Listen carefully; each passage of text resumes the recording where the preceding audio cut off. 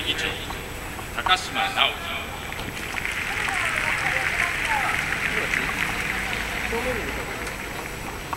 続きましてご来賓の皆様をご紹介いたします国際オリンピック委員会副会長 IOC 調整委員会その下の階でお願いいたします。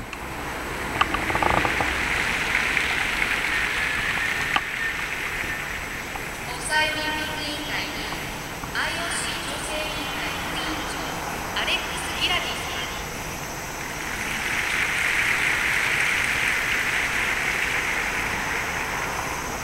国際パラリンピック委員会副会長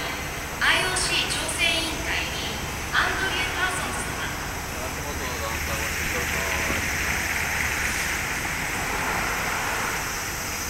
公益財団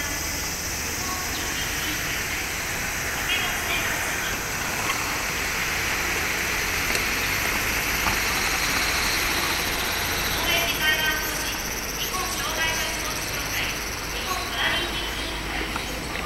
岩原康さん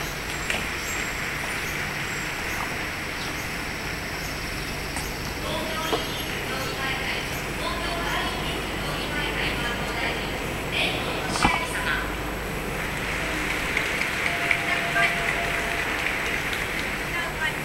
文部科学大臣下村博文様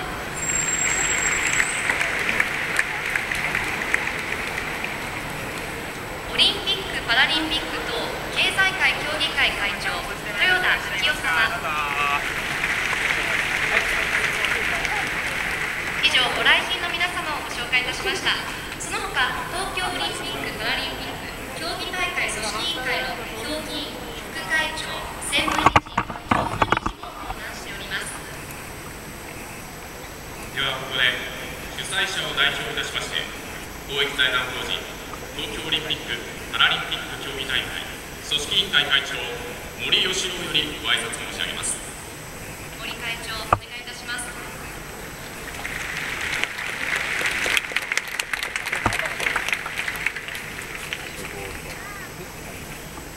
ご紹介いただきました東京オリンピック・パラリンピック組織委員会の杉田でございますいよいよ東京オリンピック・パラリンピック大会のエンブレムが発表されることになりました実に待ち遠しい。約8年間だとい。うか、えー、何も検査がありますが本当に苦労されてこんなものができるのかまだ私も見てないんです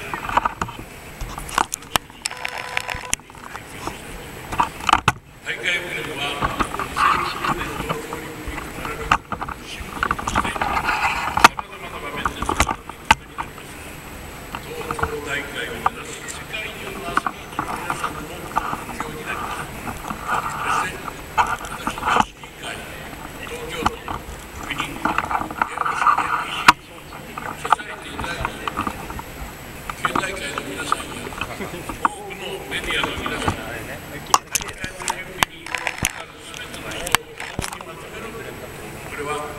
旗印になります組織委員会にいたしましてはオリンピックとパラリンピックを同じように力を入れて同じ組織の中でこの作業を進めてまいりました。こうした思いから本日同じ日に2つの大会のエンブレムを一緒に発表することになりました。幸い今月初めに日本においでくださってました IOC、IPC の皆様また今回東京に来ていただきました先ほどご紹介ありましたクス・ギラディ副委員女性副委員長さらにアンドリュー・パーソン副会長これに責任いただきました本当に3人の皆さんありがとうございましたご了承えそれではちょうど7時のニュースにここが映されてそして日本中に世界中にこのエプレムがニュースに入るのがそうでありまして会長は何社だという司会者の命令であります。今日はわざわざ NHK から2人来てくれたにもそういう意味がございます。本当に大勢ご挨拶ありがとうございました皆さんで楽しみにしてこのエンブレムを中心スを5年後の7月14日みんなでご支援いただきます。ようにこれからお願いをしてご愛顧いただきますありがとうございました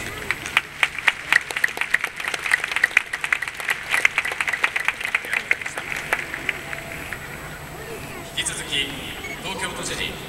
増添洋一よりご挨拶申し上げます。増添都知事お願いいたします。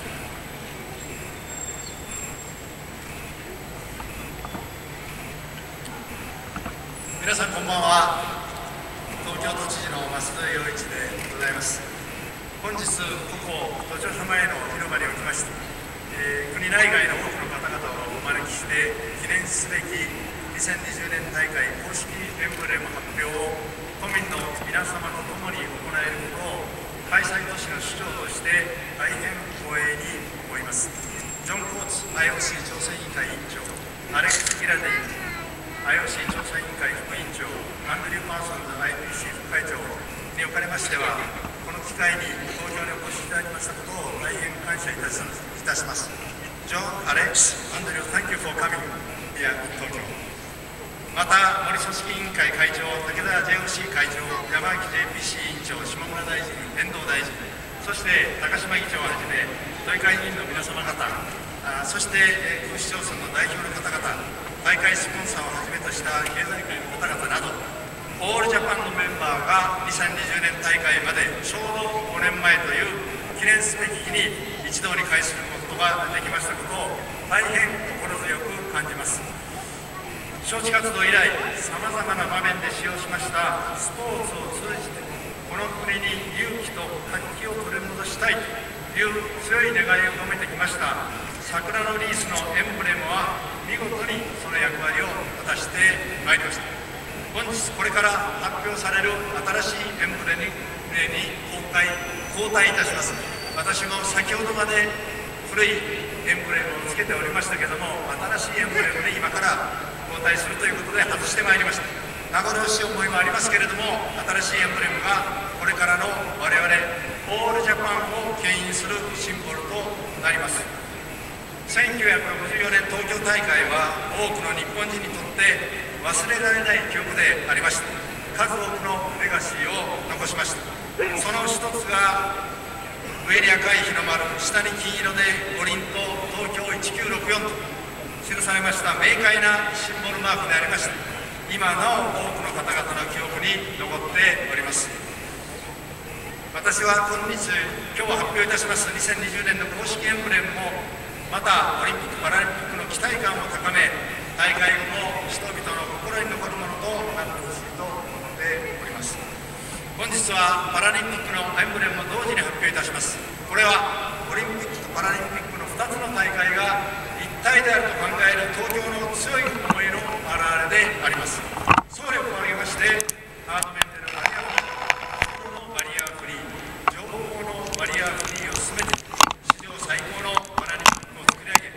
そしてその先に続く障害のある人もない人も共に生きる社会の実現につなげてまいります。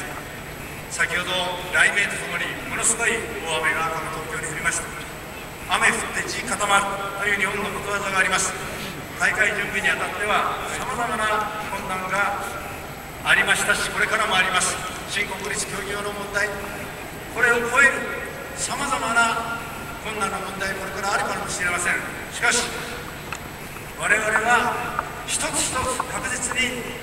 オールジャパンで乗り切っていきたいと思っております。私は今日ご臨席の皆様方それから都民の皆様国民の皆様我々が団結すればいかなる困難も必ず乗り越えることができる。そしてその先にこそ大きな成功がある。私はそう確信しております。この新エンブレムのもと改めてオールジャパンで一致団結し2020年の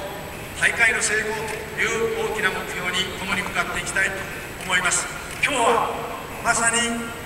今雨が上がりましたように新しい夜明け新しい日にち新しい第一歩オールジャパン。そして皆さん我々日本人が力を合わせればどんな困難も必ず克服できる。日本人の力を東京都民の力を世界に示そうではありませんか。そのことを最後に申し上げまして、えー私の挨拶を終わります。どうも皆さんありがとうございました